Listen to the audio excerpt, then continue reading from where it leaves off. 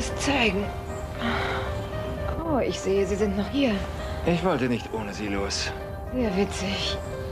Wie lange habe ich eigentlich geschlafen und Sie als Kopfkissen benutzt? Nicht so lange. Haben Sie sich etwas erholt? Oh ja, ich habe wie ein Baby geschlafen. Meine linke Seite schläft immer noch tief und fest. Ich habe den Mund voller Sand und eine Armee von Moskitos hat mir die Füße zerstochen und ich kann mich nicht kratzen, weil meine Hände hinten auf dem Rücken festgebunden sind. Aber sonst ist alles in Ordnung. Nur keine Hektik. Wir haben noch viel Zeit, bevor der Zimmerservice auftaucht. Ich habe im Ernst gehofft, ich würde aufwachen und es war nur ein böser Traum, aber das war ein Trugschluss. Und haben Sie ein bisschen geschlafen? Nicht viel. Ich habe darüber nachgedacht, wie wir hier rauskommen. Ich bin offen für jeden Vorschlag und wenn er noch so ausgefallen ist. Wussten Sie schon, dass ich als Kind ein richtiger Entfesselungskünstler war? Nein, nein, das ist mir neu. Ich bin ein Fan von Houdini, sich in Luft auflösen, aus Handschellen befreien. Und konnten Sie das gut? Ich hatte keine Chance, es rauszufinden. Meine Mutter nahm mir meinen Zauberkasten weg, als ich den Schlüssel für die Kette verlor, mit der Heather an die Kellertür gekettet war. Warum kann ich über diese putzige Geschichte nicht lachen? Wie ich schon sagte, ich hatte nie die Gelegenheit, es herauszufinden. Aber jetzt ist es soweit. Alles, was ich brauche, ist eine gelenkige Assistentin. Ich denke, ich melde mich freiwillig. Oh, das trifft sich gut. Der Trick ist, wir müssen darüber zu der Werkbank. Ich zähle bis drei. Gut? Gut. Sind Sie soweit? Ja. Eins, zwei, drei. Ich komme. Ich komme. Oh, Sisi, was für eine nette Überraschung. Ich habe gerade Frühstück bestellt, aber vielleicht kann ich es ja noch mal Kommen wir lieber gleich zur Sache. Was ist los? Du willst dieses Machwerk senden? Ist das dein Ernst? Meinst du vielleicht mit Machwerk meine Fernsehsendung über Millionengeschäfte und Arbeitslosigkeit in Santa Barbara? Eine Hetzkampagne gegen mich und meine Familie wäre ein passenderer Titel. Jetzt beruhige Jetzt erzähl mir nicht, ich soll mich beruhigen. Ich dachte, wir hätten eine ehrliche, ernsthafte, freundschaftliche Beziehung zueinander aufgebaut. Aber in Wirklichkeit hatten wir überhaupt keine Beziehung. Für dich gab es nur diese Story. Aber eins will ich dir sagen. Niemand nutzt mich aus. Niemand.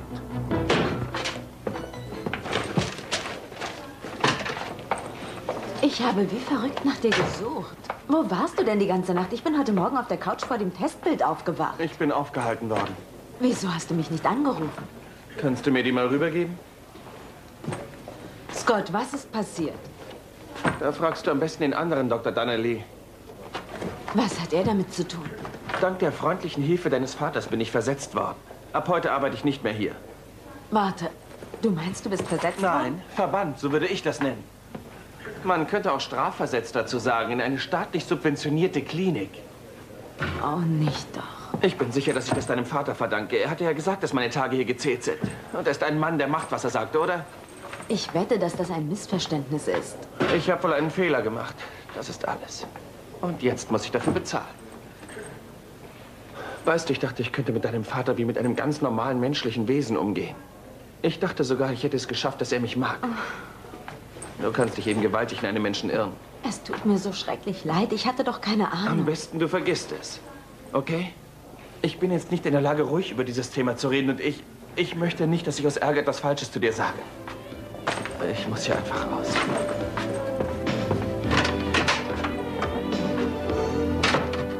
Wie sieht's aus, Thomas? Reicht das Material aus, um vor Gericht zu gehen? Ich erläutere Ihnen erstmal die Fakten. Ich habe ein Dossier über Victoria Lane angefertigt. Wir haben ein paar Informationen in der Hand, die in der Vormundschaftsangelegenheit sehr hilfreich sein können. Was sind das für Informationen? Wir haben wie üblich die Vergangenheit untersucht und ein paar Freunde befragt. Fast jeder hat ein paar dunkle Punkte, die er am liebsten vergessen möchte. Hm, und die wären? In Victorias Fall kann ich sagen, sie hat sich eigentlich nie etwas zu Schulden kommen lassen. Ähm, ein Low-Budget-Film im letzten Jahr, in dem sie kurz nackt aufgetreten ist. Einige Male hat sie ihre Apartments in Los Angeles gewechselt, weil sie die Miete nicht zahlen konnte. Das liegt allerdings bereits einige Jahre zurück, als sie gerade anfing mit der Schauspielerei. Ist das alles? Was soll ich sagen? Das hört sich nicht gerade umfangreich an, aber dieses Wissen kann uns behilflich sein. Und wenn wir noch hinzufügen, dass sie ein Drogenproblem hat, haben wir genügend Material, mit dem Sie das Sorgerecht für Ihr Kind vor Gericht einklagen können. Was hältst du davon? Wenn das bedeutet, dass wir das Recht bekommen, mit Chip zusammen zu sein, dann sollten wir es tun. Mag schon sein, aber mir gefällt diese Vorgehensweise nicht. Nur auf diese Weise können wir Ihren Charakter schildern und Ihre Qualifikation als Mutter, wenn es darum geht, ob sie das Kind behalten darf. Ja. Es hängt allein von Ihnen ab, welche Vorgehensweise Sie für die beste halten. Sie müssen jetzt verdammt hart mit sich ins Gericht gehen und sich selber die Frage beantworten, wie weit Sie gehen wollen, um vor Gericht das Sorgerecht für Ihren Sohn zu bekommen. Auch wenn es Ihnen jetzt nicht fair erscheint, warten Sie, bis Sie Victoria gegenüberstehen.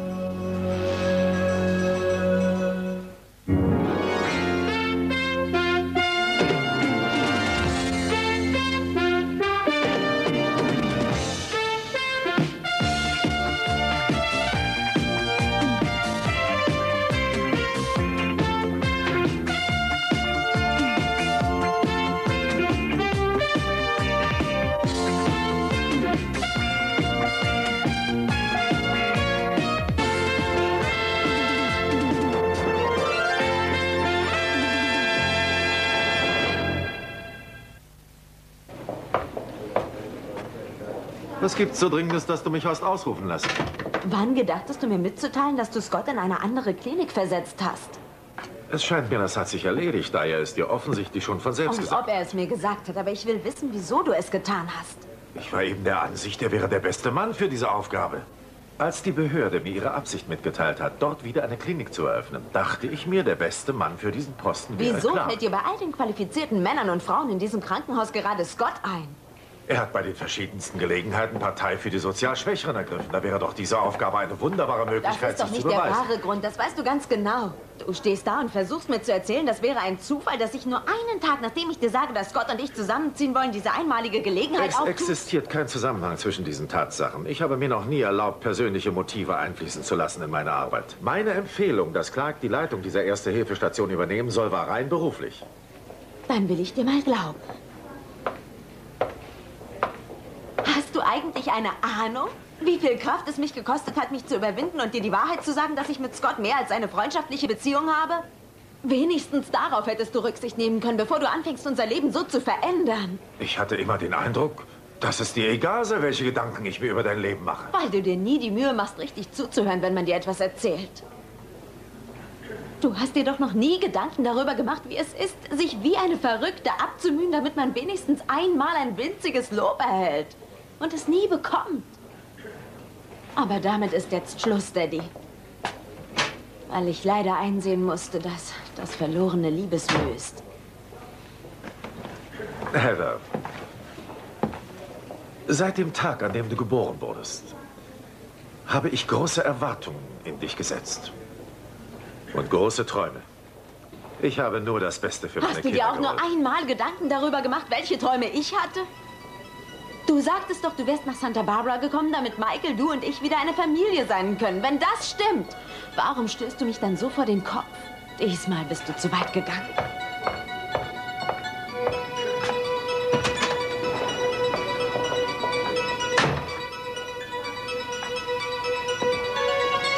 Was fällt dir eigentlich ein, mich plötzlich wie eine Verräterin zu behandeln, hä?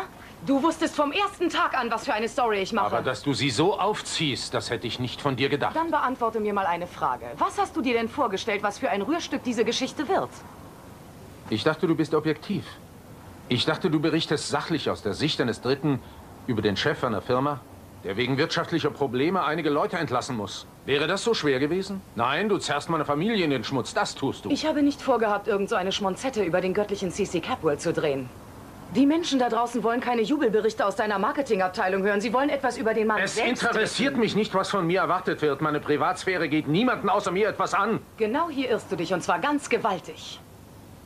Du stehst ebenso im Mittelpunkt des öffentlichen Interesses wie Donald Trump oder was weiß ich. Glaubst du allen Ernstes, die Leute haben nur ein Fünkchen Interesse daran, wie es um das Verlagswesen bestellt ist? Oder wie du deine erste Million gemacht hast? Ach, hör doch auf, Sissi. Weißt du, was mich am meisten interessiert?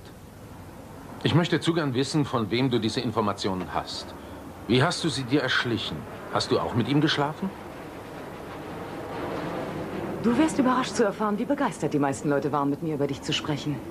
Ich bin sicher, du kennst das alte Sprichwort, sei vorsichtig, wen du dir zum Feinde machst. Du hast in Dingen herumgeschnüffelt, die du nie und nimmer hättest veröffentlichen dürfen. Gemeiner Klatsch über meine Ehefrau und Kelly. Du hast nicht einmal Mason und Channing, obwohl sie tot sind, verschont mit deinen schmutzigen Andeutungen. Ich sollte dich und deinen Sender verklagen. Seit wann darf man nicht mehr die Wahrheit sagen? Ich habe mich in dir getäuscht. Ich dachte, du würdest fair sein. Komm bloß von deinem hohen Ross runter. Du hast mich diese Geschichte doch nur machen lassen, weil sie deiner Männlichkeit geschmeichelt hat. Das kannst du mir jetzt nicht vorwerfen. Du hast mich dargestellt, als wäre ich ein armer und einsamer Mann, der sich an seine Firma klammert, obwohl du und jeder weiß, dass das nicht wahr ist. Wieso verteidigst du dich eigentlich so vehement? Es geht mir nicht um mich. Aber ich werde nicht zulassen, dass du das Leben der Menschen, die ich liebe, zerstörst. Meine Familie ist mir das Wichtigste auf der Welt, auch wenn du das vermutlich nicht verstehen kannst. Und ich fühle aufrichtiges Mitleid mit dir, dass du nie die Liebe einer Familie erleben wirst. Aber über etwas bin ich doch erleichtert. Ich bin froh, dass dein Vater und mein Freund die Frau nicht mehr erleben muss, die du geworden bist. Er wäre mit Sicherheit von deinem Verhalten ebenso angewidert, wie ich es bin.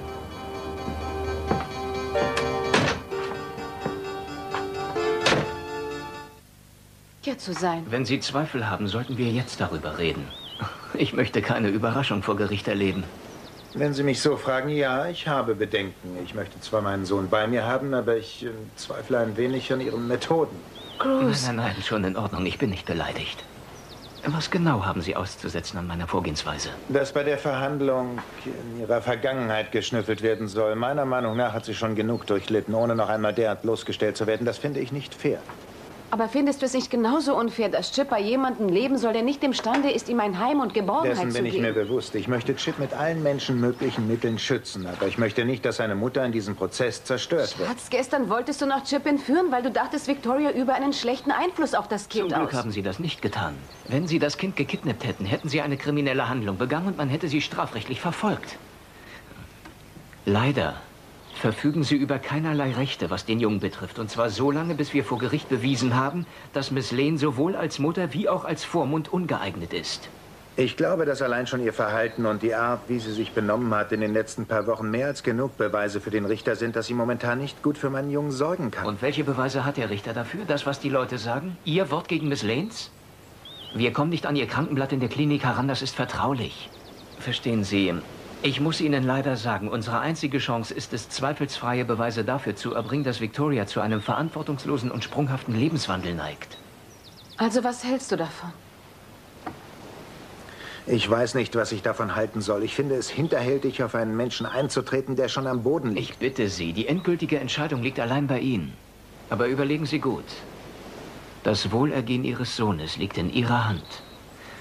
Sobald Sie einmal begonnen haben, um Ihren Sohn zu kämpfen, dann müssen Sie diesen Weg zu Ende gehen. Und jedes Zögern könnte bedeuten, dass Sie Ihren Sohn für immer verlieren.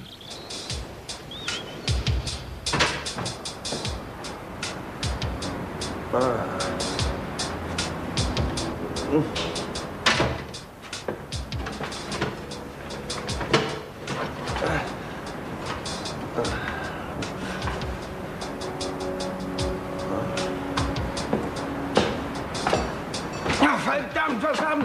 haben Sie denn hier zu suchen, ha? Ich könnte Sie genau dasselbe fragen. Ah, findet man denn heutzutage nirgendwo mehr seine Ruhe? Nur weil ich keine Wohnung habe, heißt das nicht, dass ich keine Rechte habe. Ja, bitte sehr. Ich schlage Ihnen vor, rufen Sie die Sie Polizei. denken wohl, ich bin bescheuert. Nehmen Sie sich in Acht.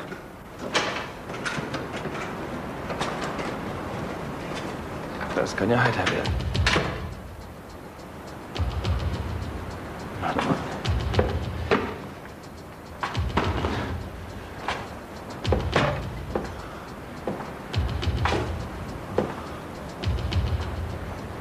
Willkommen in der Hölle, Doktor.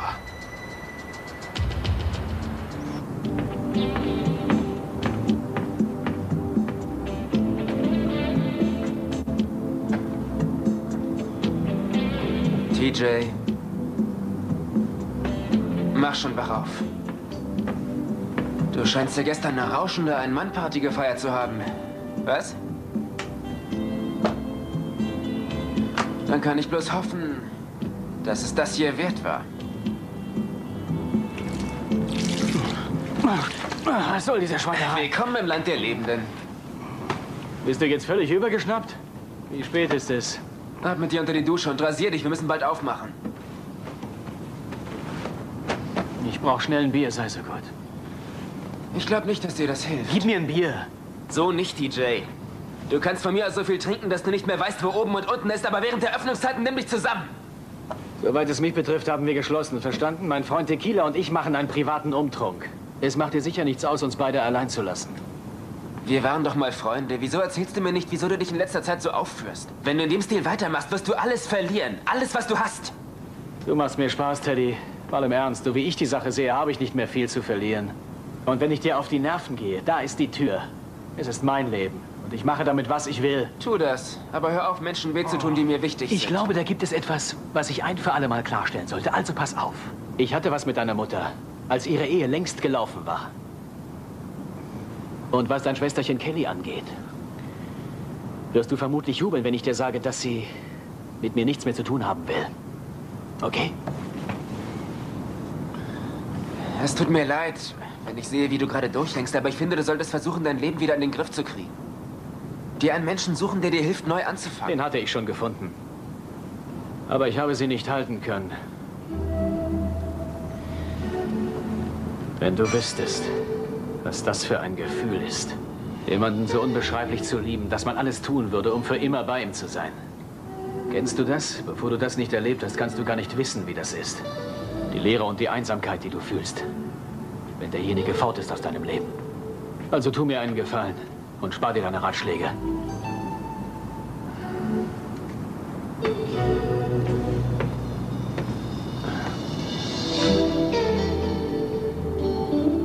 Ach, ich liebe dieses Haus. Es ist wirklich umwerfend. Freut mich, dass du mich mal besuchst. Wo ist denn dein Prinzgemahl? Er will versuchen, Chip bei seiner Mutter loszueisen. Willst du eine Tasse Kaffee? Ja, nichts lieber als das. denn- Nachher findet die Anhörung Ja, statt. ich weiß, mein Schatz. Ich dachte, ich komme her und leiste dir etwas moralischen Beistand. Ich brauche jede Menge moralischen Beistand. Wie stehen eure Chancen? Weißt du, das ist schwer zu sagen. Hier dein Kaffee. Danke. Es ist sehr schwer, weil äh, Sie prüfen müssen, ob Victoria in der Lage ist, Mutter zu sein oder nicht. Und weil Cruz nicht weiß, äh, wie weit er gehen darf in seinen Bemühungen, das Sorgerecht zu erhalten. Und wie geht es dir selbst? Ich versuche alles zu tun, um Cruz zu helfen. Das ist keine Antwort auf meine Frage. Wie fühlst du dich? Ach, ich fühle mich soweit ganz gut. Die Lage ist etwas verzwickt. Chip ist im Moment am wichtigsten, so dass ich für andere Dinge kaum Zeit habe. Und was ist mit der Gegendarstellung auf den Bericht von Lydia Saunders? Oh, das wird, äh, das wird noch etwas dauern. Ich bin noch immer nicht fertig. Es fehlen noch einige Informationen, es sind noch ein paar Gespräche zu führen und ich hatte eben keine Zeit dafür. Es tut mir leid. Ich will den Bericht unbedingt machen. Ich fürchte nur, dass der Schwung etwas verloren gegangen ist. Du machst ihn auf jeden Fall. Sicher, aber ich will mal ehrlich sein. Mein ursprünglicher Beweggrund war die Abneigung, die ich gegen Lydia Saunders hatte. Hat sich das geändert? Naja, ein bisschen.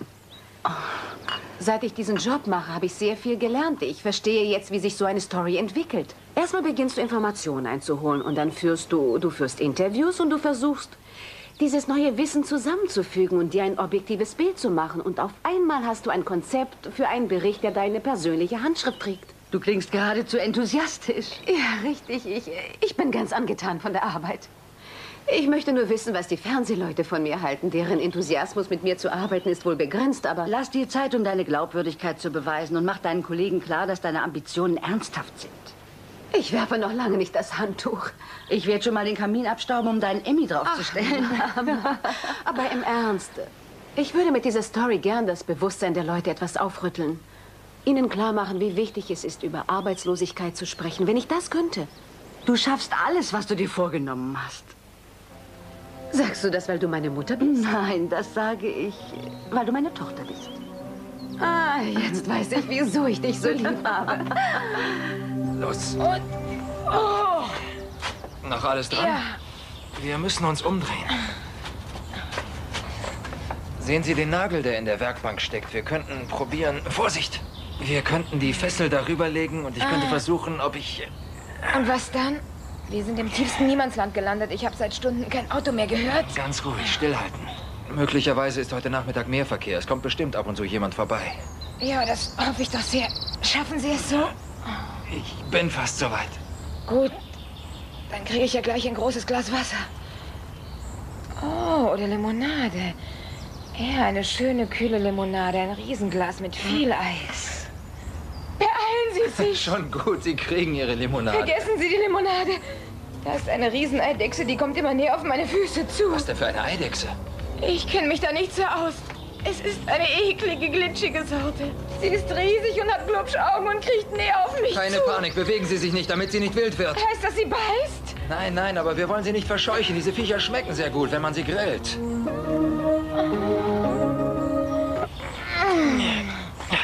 Das war's. Wo ist denn das Untier? Die Kleine ist weggerannt, als sie gehört hat, dass wir sie essen wollen. Schade, ich hatte mich schon so auf diesen Leckerbissen gefreut. So, bitte sehr. Danke. Danke. Oh. Haben Sie das gehört? Klang wie ein Auto. Halt! Hey! Nicht böse sein. Im nächsten Monat kommt vielleicht wieder eins. Möglicherweise auch erst im übernächsten. Ich habe solchen Hunger. Hier muss doch irgendwo was zu essen sein. Irgendwas. Vielleicht haben Sie wenigstens einen Kaugummiautomaten. Ich habe solchen Hunger. Ich wünschte, die Eidechse käme wieder. Na komm. Komm. Ah, ich glaube, ich habe was gefunden. Was denn? Zeigen Sie her. Was ist da drin? Sehen wir gleich. Vielleicht Hier, was das zu trinken. gehen. Ich helfe Ihnen. Ah. Kriegen Sie es auf? Oh. Jetzt bin ich ja neugierig. Kaviar. Import aus Russland. Ah, Cracker? Ch Champagner. Was für eine Werkstatt ist das hier? Für Rolls-Royce. Das bekamen die Kunden, während sie auf ihre Wagen warteten. Darf ich dann zu Tisch bitten, meine Dame? Ja. Wer könnte dem Angebot widerstehen?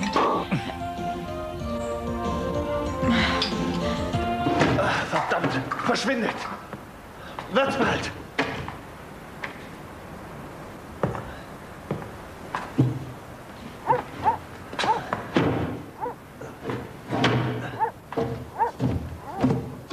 Na los! Arme Schublade.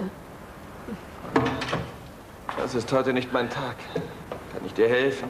Ja, ich hatte die Hoffnung, dass du möglicherweise deinen Ärger inzwischen abreagiert hast. Aber es ist besser, ich lasse das hier und gehe. Nein, nein, warte mal. Bitte entschuldige, ich habe mich schlecht in der Klinik benommen. Schon gut, ich verstehe das. Und wie gefällt es dir hier? Willkommen im Albtraum von Dr. Clark. Es ist gar nicht so übel, da lässt sich ähm, mit Farbe doch sicher einiges machen, ne? Es gibt auf der ganzen Welt nicht genug Farbe, um diesen Gestank hier zu überdecken. Bei mir werden wieder einige böse Erinnerungen wachgerufen. Wieso? Warst du schon mal hier? In der Umgebung hier bin ich aufgewachsen. Mein Vater brachte mich hierher, wenn ich zum Beispiel einen Unfall hatte mit dem Rad oder eins der Kinder aus der Nachbarschaft mir die Nase blutig gehauen hatte. Ich war Stammgast hier. Kein Wunder, dass du es hast. Es ist nicht die Erinnerung an die blutigen Nasen. Es liegt mehr an den Ärzten und Schwestern, verstehst du? Die haben einen behandelt, ich weiß auch nicht, wie eine Nummer oder sowas. Obwohl es bestimmt nicht ihr Fehler war. Die meiste Zeit war das Wartezimmer so voll, dass man kaum Luft holen konnte. Das Personal war hoffnungslos überfordert. Kein persönlicher Kontakt, nichts dergleichen. Du bekamst ein Pflaster und schon wartete der nächste Patient. Das ist ja furchtbar. Weißt du, was das Schlimmste von allem war? Die Ärzte und die Schwestern waren eben solche Opfer dieses Systems wie die armen Menschen, die von ihnen geheilt werden wollten. Ich weiß noch, auf mich als Kind wirkten die Leute, die hier gearbeitet haben, wie ein Haufen von Zombies. Es passiert eine ganze Menge Fehler, musst du wissen. Auch Fehler mit fatalen Folgen. Du bist viel zu gewissenhaft, dass dir das passiert. Ich weiß nicht, ob ich das jemals schaffe. Na, hör mal. Seit wann kneifst du vor einer Herausforderung? Du verkraftest doch sogar eine 18-Stunden-Schicht lang den großen Dr. Donnelly. Was Schlimmeres gibt's nicht. Dein Vater würde sich vor Lachen im Bauch halten, wenn er mich hier sehen könnte. Wir können ja versuchen, ihm ein Schnippchen zu schlagen. Vielleicht schaffen wir es, die Lache auf unsere Seite zu bekommen. Was willst du damit sagen? Na los, nimm dir einen Besen und fang an. Komm schon.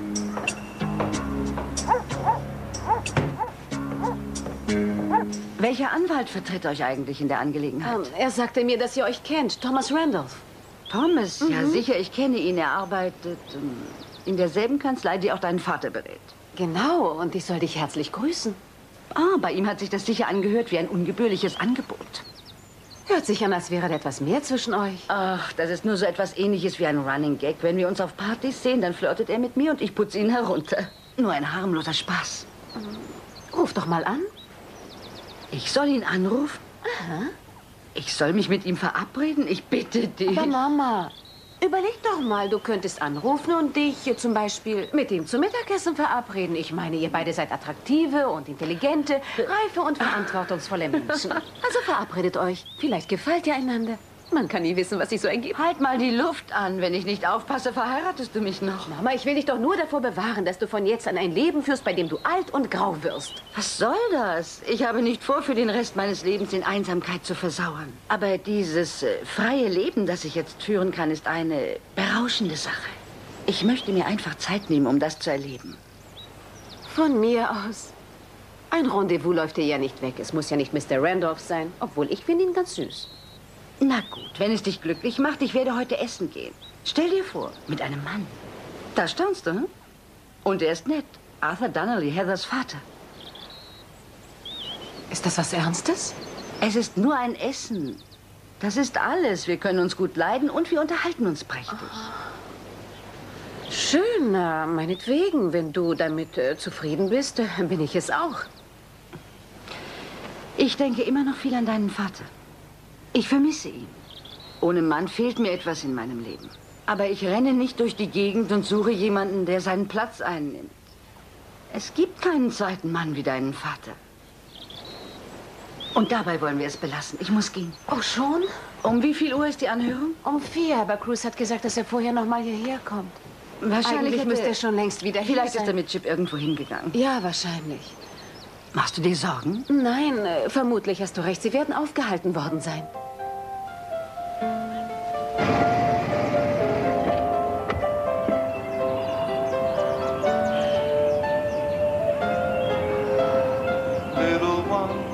Was denkst du, Chipper?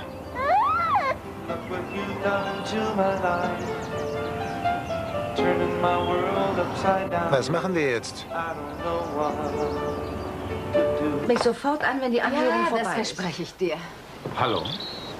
Oh, Hallo, Prinzessin. Guten Tag, Daddy. Sophia, es tut mir leid, ich hätte mich telefonisch ankündigen sollen, aber ich äh, wollte dir etwas Wichtiges mitteilen. Schon gut, ich wollte sowieso gehen. Nein, du bleibst besser. Es geht die ganze Familie an. Worum geht es denn? Ich äh, habe eine Kopie der Fernsehreportage erhalten, die Lydia Saunders gedreht hat. Du hattest recht, vollkommen recht. Sie spricht das Todesurteil über unsere Familie. Ich bin für sie der größte Ganove, seit Ivan dem Schrecklichen, aber keiner von uns bleibt verschont.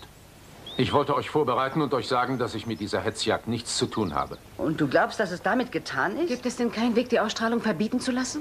Ich wünschte, es gäbe einen. Ich habe meine Anwälte eingeschaltet, um eine einstweilige Verfügung zu erwirken, aber darauf würde ich nicht hoffen. Lässt du mich bitte mal mit deiner Mutter allein? Das heißt, wenn es ihr nichts ausmacht. Na gut, ich äh, bin in der Küche.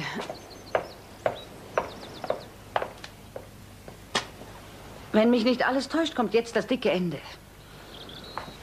Ich äh, muss dir leider sagen, dass äh, besonders du in, in Lydias Feldzug nicht sehr schmeichelhaft dargestellt wirst. Sie ähm, bringt einige sehr private Dinge von dir, vor allem aus der Zeit, als du dich mit TJ getroffen hast. Was für private Details sind das? Deine Männergeschichten. Und dass du auf die Familie keine Rücksicht genommen hast. Kannst du mir sagen, wie sie dieses widerliche Zeug rausgekriegt hat? Jedenfalls hat sie es nicht von mir. Was sagst du? Sie hat es nicht von mir, aber woher weiß sie es deiner Meinung nach dann? Und außerdem klingen die Anschuldigungen, die diese Frau erhebt, bemerkenswert vertraut für meine Ohren. Weil das genau die Worte sind, bis auf den kleinsten Buchstaben, die ich mir von dir anhören musste, bevor du mich aus dem Haus geworfen Das war hast. ein Streit zwischen dir und mir. Ich würde unsere Differenzen niemals vor Fremden breit treten. Auch nicht während deines kleinen Bettgeflüsters mit Lydia? War etwa ein Tonbandgerät an, als du es mit ihr getrieben hast? Bleib bitte oberhalb der Gürtellinie. Du hättest eben überlegen sollen, was geschieht, bevor du eine offizielle Einladung an diese Person aussprichst und mit ihr die Nacht verbringst. Äh, sag mal, was ist denn hier los? Ich bin sicher, dein Vater wird dir liebend gerne erzählen. Was es für ein erhebendes Gefühl ist, die vermutlich letzte Gemeinsamkeit zu verraten, die uns noch miteinander verbunden hat.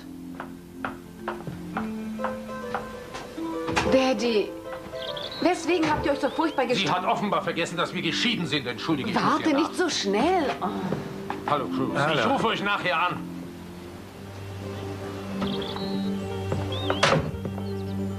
Ich bin wohl im falschen Moment reingebt.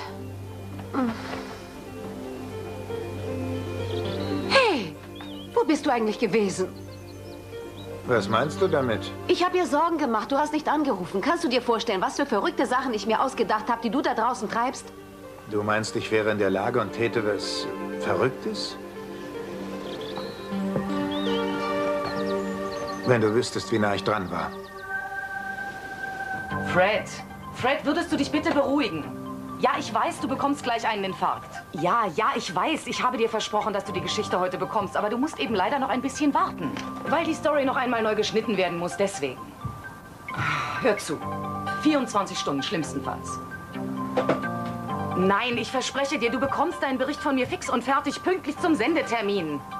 Nein, es ist alles in Ordnung damit und ich gehe jede Wette ein. Du wirst begeistert sein. Ich bekomme heute noch Material und, und das ist so wichtig, dass es noch in die Story gehört. Du bist ein Engel, Dankeschön.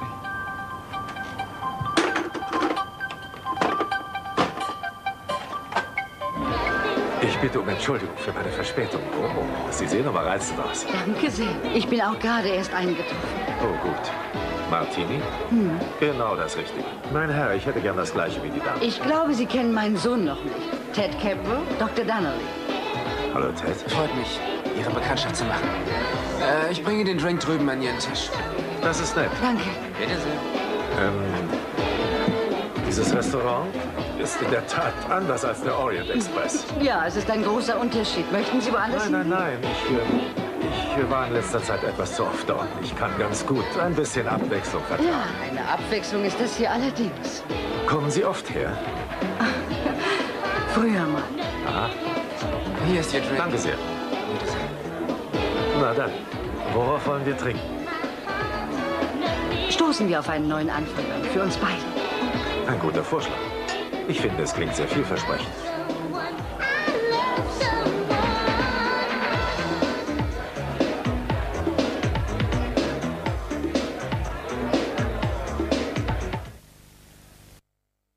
gefunden habe. Ah, was ist das? Ah, so ein Ding hatte ich früher auf der Highschool. Aber ich hoffe, Sie denken nicht, was ich denke, dass Sie denken. Es ist immerhin ein Fahrzeug. Das war es vielleicht vor 20 Jahren, aber das Ding fährt uns doch nicht von der Tankstelle hier bis nach Las Vegas. Ich wette, ich krieg das wieder flott. Dabei fällt mir ein, die habe ich eben auf der Straße gefunden. Nichts mehr drin. Hm. Los geht's. Können Sie mir das Werkzeug rübergeben? Jetzt sagen Sie bloß nicht, dass Sie auch noch Motorradmechaniker sind. Oh ja, doch, sowas in der Art. Deswegen wollte ich Polizist werden. Ich wollte so ein Ding fahren und auch noch Geld dafür bekommen. Ist da sowas ähnliches wie ein Schraubenzieher? Ja. Wunderbar. Verbindlichsten Dank. Ich weiß noch, irgendwann, als ich mal aus der Schule kam, hat mein Vater mich äh, erwischt, wie ich mein Motorrad auseinandergenommen habe. Alles war auf der Straße verteilt. Er machte eine bissige Bemerkung. Er hat einen langen Vortrag gehalten über die Ähnlichkeit zwischen einem Chirurgen und einem Mechaniker mit begnadeten Händen. Ich nehme an, dass er nicht sehr angetan war. Ja, er war puterrot im Gesicht und ist wütend ins Haus gestürzt. Ich höre es noch heute, wie er die Tür hinter sich zugeschmissen hat. Sie zwei haben nicht viele Gemeinsamkeiten, oder? Nur das großartige Talent, uns immer wieder gegenseitig zur Weißglut zu bringen. Ich gestehe, ich habe ein tiefergehendes Motiv, weshalb ich Sie heute eingeladen habe. Und was ist das? Mich interessiert Ihr Geheimnis im Umgang mit Ihren Kindern. Wann immer ich Sie zusammen mit Ihnen sehe, bin ich von Ihrem harmonischen Verhältnis fasziniert. Sie haben offensichtlich viel Zuneigung füreinander. Das ist sicher richtig, aber ich fürchte, dass ich Ihnen dafür kein Erfolgsrezept verraten kann. Was immer es auch ist, anscheinend fehlt mir dazu das Talent.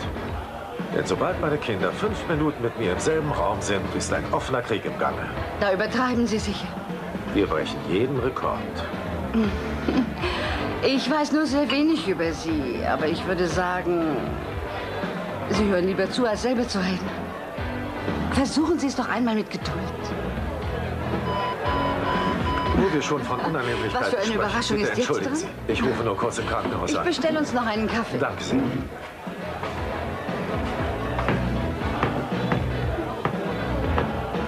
Er ist etwas älter, als du es sonst magst, Sophia. Was willst du?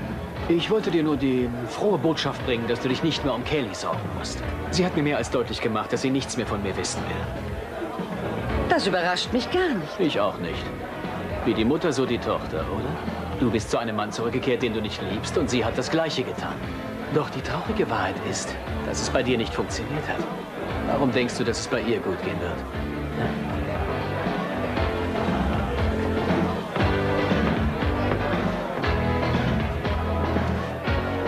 Im Ernst, wenn ich mich hier so umsehe, würde ich sagen, hier lässt sich eine Menge draus machen. Ach ja? Schieß los. Ich bitte dich, du hast doch Fantasie, es ist deine erste Hilfestation. Du kannst hier tun, was du möchtest. Nein, ich trage zwar die alleinige Verantwortung hier, aber ich bekomme von den Behörden gesagt, wie ich den Laden führen soll.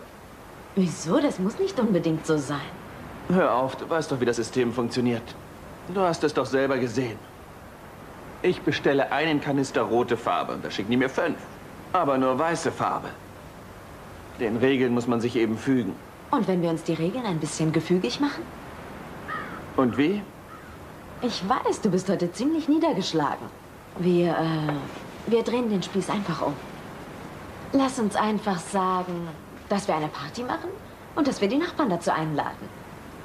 Dann werden wir die Räume selber herrichten. Ja, das ist gar keine üble Idee. Mhm. Die Leute werden hier behandelt. Sie sollten auch entscheiden, wie es hier aussehen soll. Ich bin ganz deiner Ansicht. Alles, was sie brauchen, sind äh, Malpinsel und ein paar Ideen. Und wir steuern die Farbe und das Essen bei. Da fällt mir was ein. Draußen ist eine kahle Wand, die wäre gut für Graffiti. Ein bisschen Farbe täte dagegen gut. Wir könnten paar Kinder aus der Nachbarschaft fragen, ob sie uns die Wand bemalen wollen, so als ob ihnen dieses Gebäude hier gehören würde. Das wäre toll. Und außerdem könnten wir einen Abend in der Woche aufmachen für berufstätige Mütter. Was hältst du von einem Kindergarten? Wir könnten als zusätzlichen Service Kinderbetreuung anbieten. Wäre das nicht was? Nicht zu fassen. Das schlägt mir ein Mann vor, der noch vor fünf Minuten behauptet hat, er könne nicht gegen den Strom schwimmen. Aber da ist was, was wir beide noch klären müssen. Ich spreche von deinem Vater. Ja, weißt du, ich würde mir seinetwegen nicht so viel Sorgen machen. Ach ja, wieso? Weißt du etwa mehr als ich? Ja, ich weiß vieles, was du nicht weißt. Das wäre? Ich weiß, dass du das hier sehr gut machen wirst. Wir werden sehen. Ja, wir werden sehen. Du weißt ja gar nicht, wie nervös ich bin. Ich bin sicher, dass wir Sind wir zu spät? Nein, Sie sind noch vor Miss Lehn hier. So können wir wenigstens noch über einiges reden, bevor die Anhörung losgeht. Ich kenne den Richter. Er ist knallhart, aber sehr fair. Wir haben eine gute Ausgangsbasis, auch ohne, dass wir uns allzu tief in Miss Lehns Vergangenheit knien. Aber für den Fall das nicht, haben Sie noch einmal darüber nachgedacht, was wir heute früh besprochen haben? Ich habe hin und her überlegt, aber offen gestanden bezweifle ich, ob Sie in der Sache recht haben. Was in dieser Sache recht ist, ist relativ. Sie müssen vor allem daran denken, dass Sie um das Wohlergehen Ihres Sohnes kämpfen. Gibst du mir noch ein paar Weisheiten mit auf den Weg? Du allein musst dich entscheiden, aber was immer du tust, ich bin auf deiner Seite. Sie haben vermutlich mehr Erfahrung in diesen Dingen als ich, deswegen werde ich Sie so vorgehen lassen, wie Sie es für richtig halten. Aber versprechen Sie mir, dass Sie sich mit schweren Geschützen so lange zurückhalten, solange es nur geht. Ich hoffe sehr, wir müssen die unangenehmen Details nicht erwähnen. Wir haben noch fünf Minuten. Wir treffen uns dann im Saal. Ja, und vielen Dank auch. Auf in den Kampf. Hey, es wird ganz bestimmt alles gut gehen. Ja. Ich frage mich, wo Tori ist.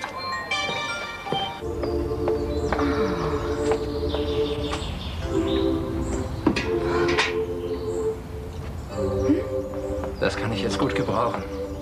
Oh, Entschuldigung. Dankeschön. So, und jetzt noch die Hände. Was denken Sie? Kommen wir bald hier weg? Tja, mal sehen, ob er anspringt. Hui. Seien Sie ja vorsichtig. Jetzt bin ich gespannt. Ich erst. Ah, ja. Und aufsitzen. Von mir aus können wir fahren. Festhalten und auf zur großen Reise.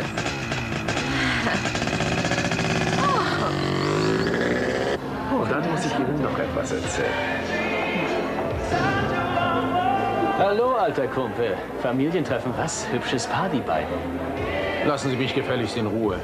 Ja, werde ich wohl machen. Ich kann sowieso kein Zimmerfeuerwerk leiden.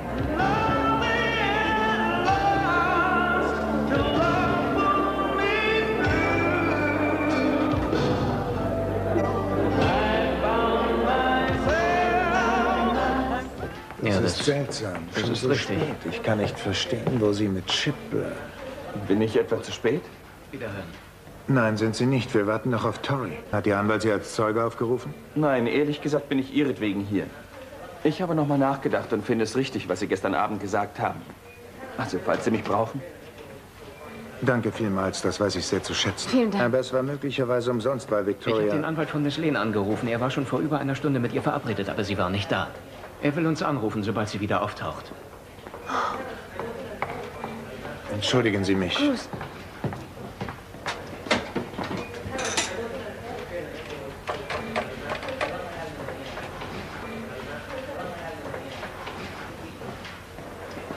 Mama, hier ist Cruz. Oh mein Gott. Nein, bleib, wo du bist. Wir machen uns gleich auf den Weg. ist was passiert? Sag es mir doch. Meine Mutter hat Chip vor einer halben Stunde ins Bett gebracht. Eben wollte sie noch mal nach ihm sehen und der Junge ist fort.